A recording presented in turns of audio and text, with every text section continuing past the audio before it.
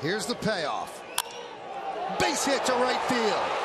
Headley scores. Here comes Gregorius. Here's the throw. It's cut off. It's a two-run single for Ellsbury. And the Yankees have come all the way back. They lead 6 to four.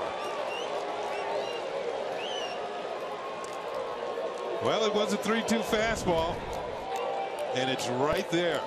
And Ellsbury doesn't miss it. Infield's in. Ball is rocked hard enough to get it through.